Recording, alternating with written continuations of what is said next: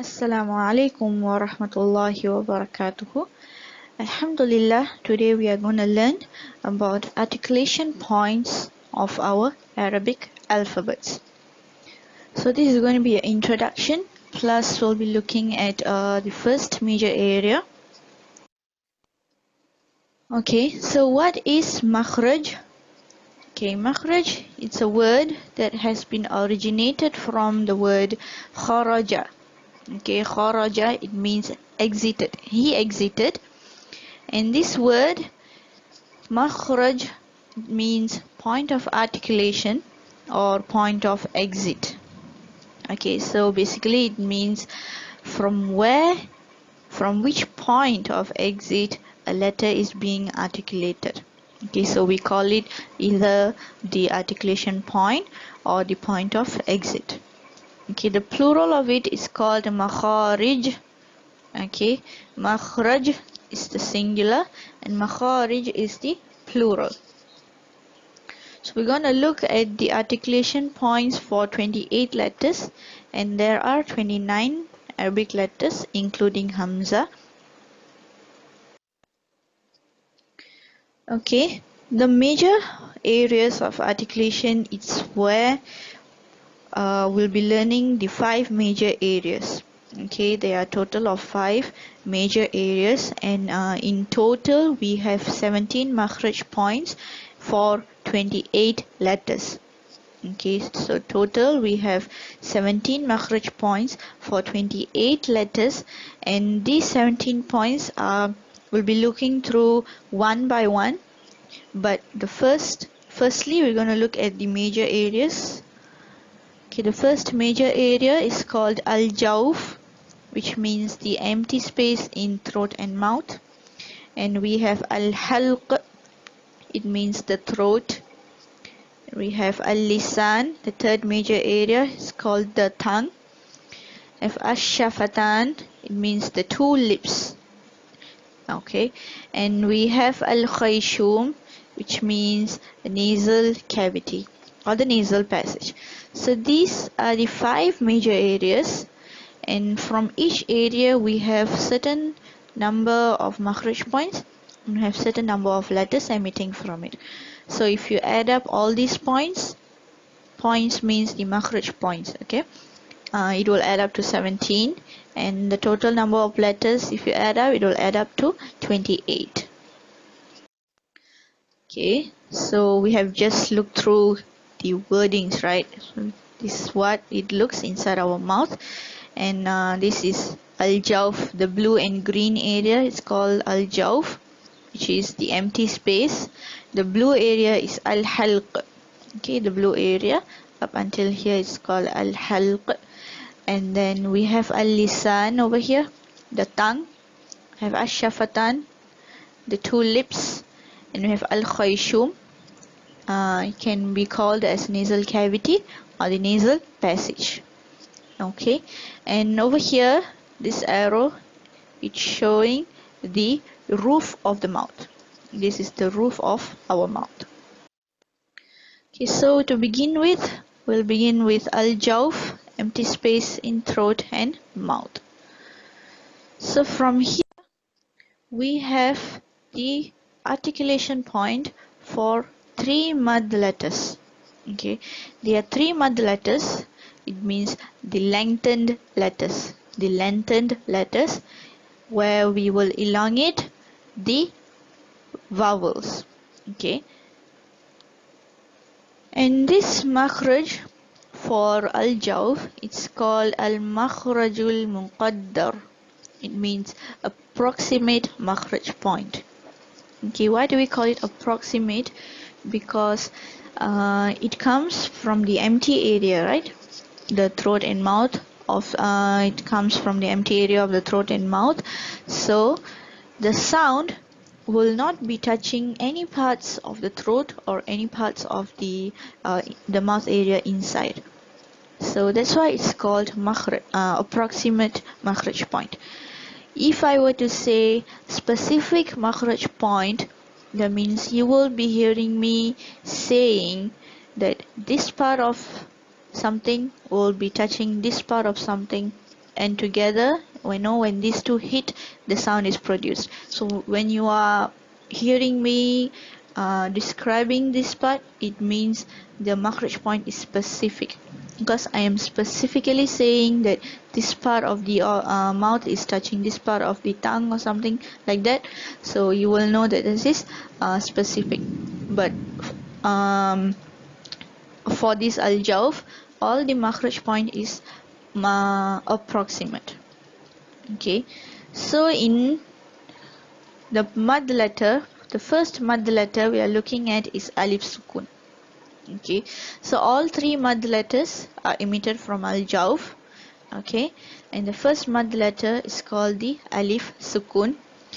Okay. So before we continue on to the next part right I would just like to uh, clear what does the alif sukun means and what the fatha means. So basically in Arabic there are only three vowels vowels meaning there's only three type of sounds that can be pronounced for each Arabic alphabet. So the first type is when you're pronouncing the letter with a fatha the sound will go with a a sound in the end. For example over here fatha is a slanted stroke above a letter. When you seeing this seeing it in this letter waw. Waw fatha wa so when you're pronouncing the letter with a fatha, the sound will end off with a a sound. This is wa. This is sha. This is ha. This is ha sa da. See this single stroke above a letter, it's called fatha. It will end off with a a sound. So this alif sukun is happens. It comes along when we are going to lengthen the sound of the fatha. So if you were to lengthen the sound of the fatha which is a, you will lengthen it as a. So over here it's a ha fatha ha with the alif sukun beside it. So you will lengthen the sound ha. Another example over here is a zal fatha the with the alif sukun. You say it as the ومن شر حاسد إذا حسد okay so with the alif sukun you will lengthen the sound of the fatha okay the next type of vowel is kasra kasra is a single stroke below a letter and the sound will end off with the e sound with the e sound so this fa kasra fi. Dal kasra di. Noon kasra ni. Ha kasra hi. So this sound will end off with the e sound and with the ya sukun following it. When there's a ya sukun following it, we will lengthen the sound of a e to e e so fa kasra fi ya sakina. We make it as fi fi di di fi di. Okay so this is how we lengthen the sound of the kasra. Next we have the waw sukun which needs to be preceded by a letter with a dhamma. So dhamma it's a slanted number 9 on top of a letter. Okay so this slanted number 9 is called dhamma and this dhamma will have a sound u u. So when you're pronouncing a letter with a dhamma the sound has to end off with a u sound. Okay here. Kha dhamma khu. Kha dhamma khu. Lam dhamma lu. Lam dhamma lu. So when you're saying lu you need to pout your lips. Okay you need to pout your lips lu. Not lu lu it's lu. And for kasra your jaw lower jaw has to be lowered. Fi not f. F no. Fi. Fi di ni fi di ni and for fatha you need to open up your mouth so that the sound is traveling in moderate okay? It's not like hasidin and it's not hasidin it shouldn't be going to the two extremes. You shouldn't sound, slant the sound as hasidin okay? And you shouldn't make the sound so thick like hasidin both is incorrect. It has to be the sound has to be in the middle and for it to be in the middle we need to open our mouth and make the sound flow through from our vocal cord through our jaw and through our mouth. Hasidin. Hasidin. Either not either or either okay? So all of the sound which we elongated has to come from the empty space of our throat and mouth. Okay? Over here whichever that I have highlighted are called the mud.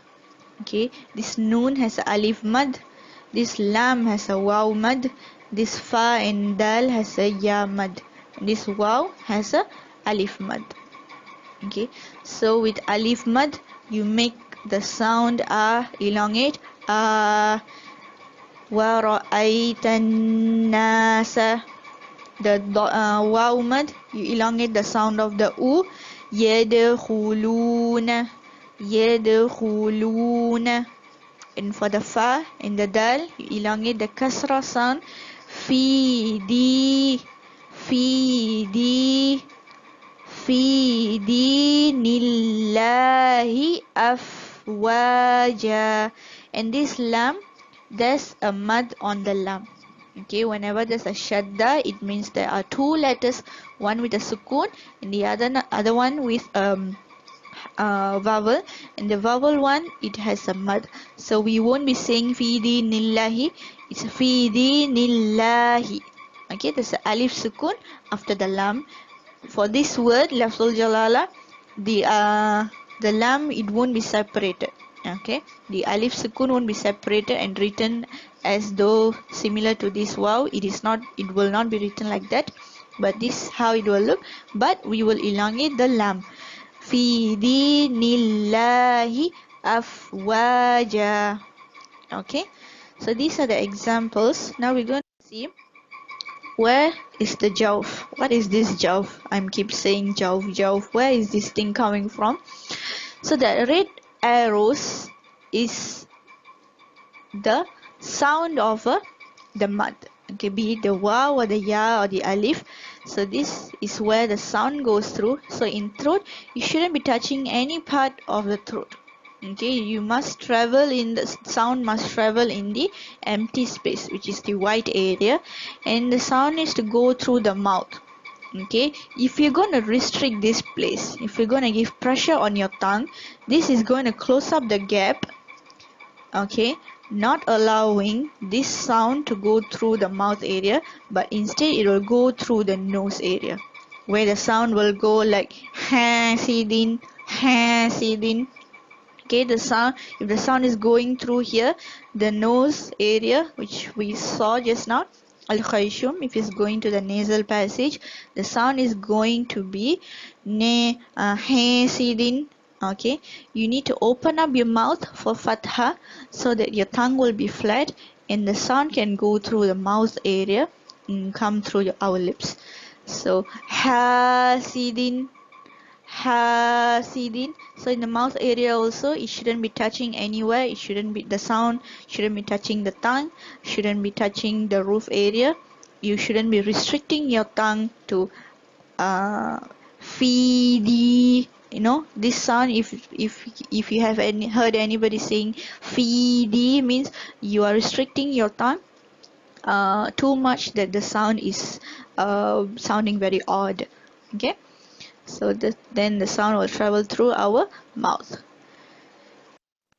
Okay so these images shows how our lips has to be placed. Our lips and our tongue has to be placed when we are pronouncing each of the mud letters.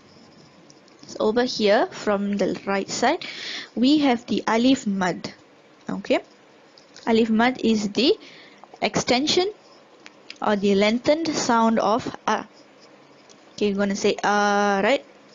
So the sound from the bottom of the throat this is where our vocal cord is.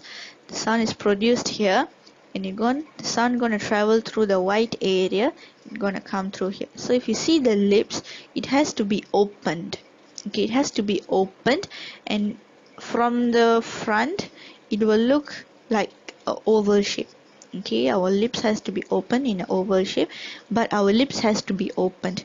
If we are not gonna open the sound going the sound is to be really weird and odd where it's to be like ha sidin ha sidin you see? It's very weird right? But the sound has to come out with full blast. Ha sidin ha sidin. Do you see the difference between ha sidin? I am not opening my mouth at all. Ha sidin. If we're gonna open my lips properly the mouth properly where the tongue has to be flat so that the sound will completely come through the mouth area you're gonna be sound like ha ha okay? That's how the sound should be. For waw doma sorry for the waw mud the sound same from the bottom from the vocal cord has to come through but our lips has to be pouted like this okay? Our lips has to be pouted like this so that the oo sound will be completed okay? So for mud you're gonna elongate the sound for two counts minimum.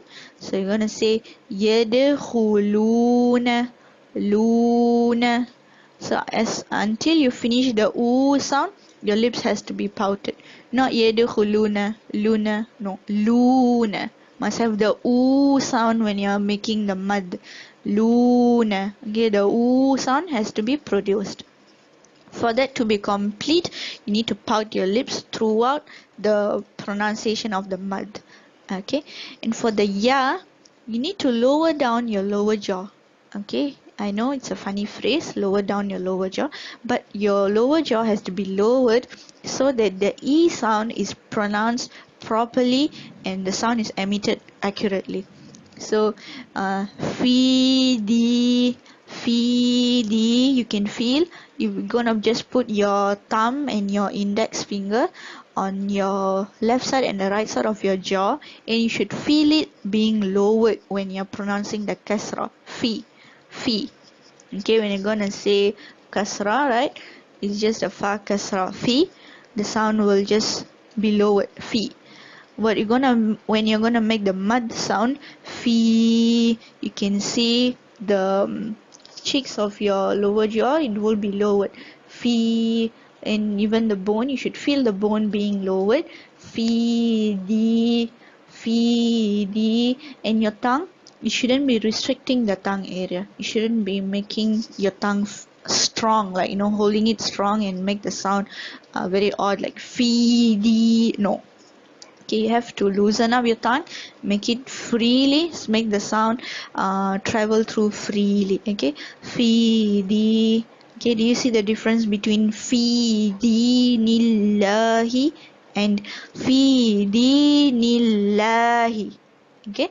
This is how the mud sound has to be come out freely. Okay? So alhamdulillah this is uh, what al-jawf is. In next lesson we will be looking through uh, the second major area which is al-halq the throat. Assalamu alaikum wa rahmatullahi wa barakatuh